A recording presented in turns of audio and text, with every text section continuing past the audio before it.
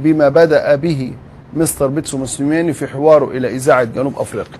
عمل حوار ناري في إذاعة جنوب أفريقيا فجر فيه واحدة من القنابل المدوية عن صفقة جديدة للنادي الأهلي من جنوب أفريقيا.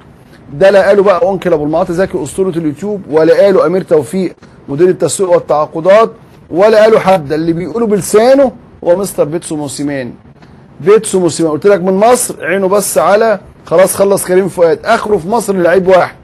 ومن بره هيجيب اثنين أو ثلاثة ماشي الحال؟ فميكاسوني اللي هو مهاجم سيمبا قلت لكم ان عينه عليه. لكن النهارده هو طلع ضرب قنبلة من العيار الثقيل في جنوب أفريقيا لما قال سنضم لاعبا من جنوب أفريقيا. سنضم لاعبا من جنوب أفريقيا. اللاعب آه، آه، ما قالش اسمه لكن قال مش جاستون سيرينيو. كل الدنيا كانت بتقول جاستون سيرينيو في مرحلة من المراحل. كابتن سيد عبد الحفيظ كان بيقول جاستون سيرينيو. طلعت معاكم هنا وقلت لكم مش هو جاستون سيرينيو. قلت لكم مفيش جاستون سيرينيو واتقفل الباب تماما تماما تماما مع سان داونز بعد الم- المبالغة في طلبات سان داونز المالية و آه، آه، آه، يعني آه، آه، 5 مليون دولار بقى وكلام بالشكل ده. فقالوا له لا خلاص يعني مش عايزين حد وخليك كده وخلاص يعني خلصنا ريح دماغنا. ف آه، مستر بيتسو موسيماني قال مش جاستن سيرينيو. طب يا عم سيرينيو هو لورش نجم أورلاندو بيرا- بيراتس؟ قال لا مش مش لورش. آه، آه، ثيمبينكوسي لورش. هو ده برضو أيضا لاعب ونجم أورلاندو بيراتس. يعني لا هو جاستون سيرينيو ولا هو لورش. هيبقى مين؟ مس- مستر بيتسو موسيماني ما قالش الاسم هو مين.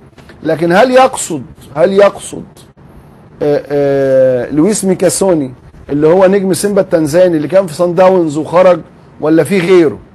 لأن أنا عارف إن في واحد اورجواني هيبقى يعني قال هجيب لعيب من جنوب أفريقيا وقال إن هو عنده اتنين من أوروجواي عليهم العون العين ولا آه، وفي واحد تاني اسمه تاو. هل هو تاو؟ الله أعلم. لكن مستر بيتسو موسيماني أعلن إن في صفقة من جنوب أفريقيا. هل انتهت؟ أشك إنها انتهت. أشك إنها انتهت. يعني لم يت... لم تتم الصفقة بشكل نهائي. لكن معنى كده إنه خلاص هيخش في مفاوضات كبيرة في للحصول على هذا اللاعب وهذه الصفقة المهمة. قلت لكم قبل كده لويس ميكاسوني اللي هو جناح سيمبا التنزاني رقم 11 اللي أنتم فاكرينه اللي سجل جون جميل في النادي الأهلي وهو واحد من اللاعبين المميزين وقبل كده كان في صن داونز عليه كلام كتير جدا. وهو كان في صن داونز قبل كده. هو قال هجيب من جنوب أفريقيا لكن ما قالش جنوب أفريقي. وارد يبقى أي جنسية. وأنا شايف إن هو يبقى اورجواني لأن حد جنبه قال لي هو مركز على اتنين من اوروجواي وجايبهم وصغار السن وأجنحة أيضا يعني. فهنا لازم آآ آآ نقول إن مستر بيتسو موسيماني هو اللي قال مش أنكل أبو المعاطي زكي أسطورة اليوتيوب هو اللي عامل الانفراد ده هو الراجل من نفسه طلع في إذاعة جنوب أفريقيا وأعلن أن هناك لاعبا من جنوب أفريقيا. طبعا اتكلم على آه، آه، لعيبة النادي الأهلي وشكر جامد جدا في المستوى اللي وصل ليه آه، محمد شريف واتكلم عنه عن اداؤه الموسم الماضي كجناح في إنبي وتسجيل الأهداف واتكلم عن قفشة وتطور طريقة لعبه اللي استفاد منها النادي الأهلي هذا هذا الموسم واتكلم عن أكرم توفيق اللي قال إن هو لاعب بالنسبة له مفاجأة كبيرة للغاية واتكلم عن آه، فرقة النادي الأهلي وقال إن الكرة في مصر تختلف عن الكرة في جنوب أفريقيا. هنا الفنيات أعلى بكتير. فهنا آه، آه، لو هو قصده بقى على تاو يا جماعة هو حر يعني. لكن أنا بقول لك اللي عندي. أنا بقول لك اللي عندي ما أقدرش أنا أقول لك يعني هو 100% أنا بقول لك راجل ما أعلنش الاسم. ما أعلنش الاسم. ماشي؟ فلو كده هقول لك هو مين. بس أعرف بس هو مين وأقول لك. أو أدور آخد فرصة وأدور لأن الحوار بتاعه لسه نازل. اللي عامله مع إحدى الإذاعات في جنوب أفريقيا لسه نازل على المواقع. لكن آه، آه، آه، موسيماني حريص على دعم فريق النادي الأهلي في الموسم المقبل ومهتم جدا بالأجنحة وقال قبل كده إنه يحتاج إلى ثلاث لاعبين في مراكز مهمة ومختلفة. مع كابتن في حواره مع أحمد حسام ميدو وأنا شايفه اليومين دول هو مركز جدا جدا في حواراته الإعلامية وهذا أمر طبيعي أمر طبيعي بعد الفوز دوري الأبطال الافريقي للعام الثاني على التوالي. وتحدث عن آآ آآ لا إله إلا الله. الناس عمالة تكلمني في سد النهضة. الناس عمالة تكلمني في سد النهضة. أنا مالي ومال سد النهضة يا عم؟ يا عم مش الراجل مش مش مش سيادة الرئيس قال نبطل هري شوية. إحنا هنفهم أكتر من الناس المتخصصة. أنا عندي ثقة كبيرة فيه وفي أجهزة الدولة المصرية. وواثق مليون في المية مليون في المية إن ما مش هيبقى لا فيه لا سد نهضة ولا غيره. قال لك الملء الثاني محتاج 13 سنة. 13 سنة. ومصر كان كل طلبها إن الملء الثاني يبقى على مدار آآ آآ سبع سنين. مش على مدار آآ خمس سنين. دلوقتي قال لك محتاج 13 سنة. افرق النت اللي جوه يا عمر طب لف النت ده شوية. فخلي يعني خلينا كده عندنا ثقة في في دولة المؤسسات وكلهم بيتحركوا أنا ما أفهمش حاجة في السد ولا أفهم حاجة في المية ولا الأمطار المكعبة ولا الحاجات دي. لكن أفهم إن كل الملفات اللي دخلها دخلتها الدولة المصرية بفضل الله ربنا وفقها فيها وانتصرت فيها. وانتصرت فيها. وآخرها موضوع تركيا. حد كان يقول إن تركيا تقلب كده؟ حد كان يقول إن يبقى في مصالحة مع قطر؟ والرئيس يتلقى دعوة من أمير قطر بالزيارة وأمير قطر يتلقى دعوة من الرئيس المصري بالزيارة. خلينا يعني ما نتدخلش في اللي إحنا ما نفهمش فيه قوي لكن اللي أنا واثق منه إن ربك سبحانه وتعالى مع مع بلدنا ومع الشعب المصري وربنا ناصر مصر وحافظها ناصر مصر وحافظها فما تقلقش من موضوع السد. انت بتسالني في سد النهضة إيش عرفنا أنا في سد النهضة يا بيه؟ أنا راجل بتاع كوره أنا راجل بتاع كوره أخليني في موسيماني في الأهلي في الزمالك.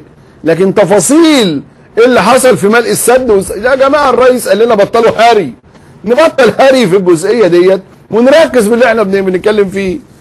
أنا واثق باذن بص مصر دي ما حدش جه عليها ابدا. مصر دي ميكي ماوس. شوف الولا. شوف الولا بيقول خلينا في ميكي ماوس. الجوكر بيقول لي خلينا في ميكي ماوس. آه عبد الله أحمد عبد الله المؤرخ السينمائي الشهير رحمة الله عليه كنا مسمينه ميكي ماوس. ده ما تلاقوش حضره إلا لو كان عجوز بقى. المهم فمش هنقعد نتكلم في سد النهضه يا جماعة. أنا ما بفهمش حاجة في سد النهضه لكن اللي أنا واثق منه إن ربنا ناصرنا وموفقنا وكله زي الفل بفضل الله. يا جماعة أما شوفوا المحطات اللي كانت موجهة من تركيا هم اللي قفلوا هم اللي عملوا هم اللي سووا وخلاص. ما حصلش حتى القاء حتى على مستوى وزراء الخارجية. فإحنا ما نتكلمش في اللي ملناش فيه يعني إيه اللي ملناش فيه ما نتكلمش فيه. يعني أنا ما بفهمش في حاجة ما بحبش أتكلم فيها. فما تجيش تقول لي سد النهضه سد النهضه أنا مالي يا عم سد النهضه ماشي. المهم في برضه في بيرسي تاو أو حد بعت لي. من أصدقائنا آآ آآ آآ كان في برايتون الإنجليزي مواليد 13 5 94 27 سنة بيلبس 22 ده من الناس اللي مهاجم وبيلعب جناح ومعروض على النادي الأهلي. الله أعلم الله أعلم. قال لك كان نجم سيمبا آه الله أعلم. اللاعب بيرسي تاو. أيوه. جنوب أفريقيا إندرليخت البلجيكي 175 سم 74 كيلو 27 سنة مواليد 13 5 94 هو جنوب افريقي وارد بيلبس في المنتخب 19 وفي النادي بيلبس 11 بيقولوا ان بيقول لي إن ده من الأسامي المرشحة بقوة. ده. ده بخلاف لويس ميكاسون. اسمه آه أهوت أيوه يا سيدي. بيرسي تاو لاعب برايتون الإنجليزي. حيث تم التواصل مع اللاعب والحصول على موافقته.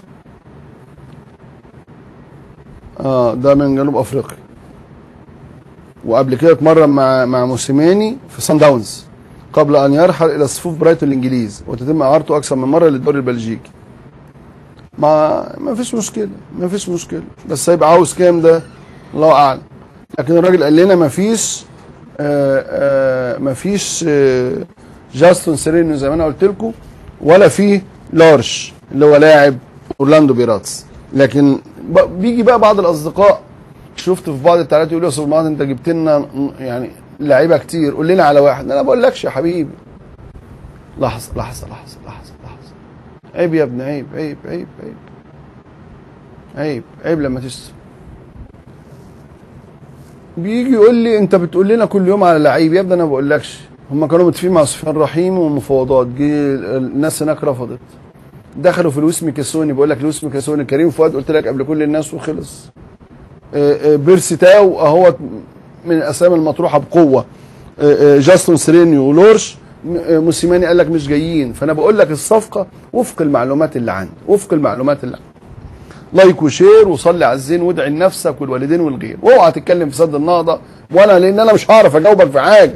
روح اسأل الخبير المائي أو المحلل الاستراتيجي لكن خلينا أنا كده يعني ما بن بنسند وندعم الدولة المصرية ومؤسساتها. ونثق بإذن الله في إن ربنا مصر حافظها. ربنا حافظ مصر. ما فيهاش حاجة مصر دي تعطش ده 110 مليون. ما ينفعش. طيب. like و share وصلي على الزين وادعي لنفسك والوالدين والغير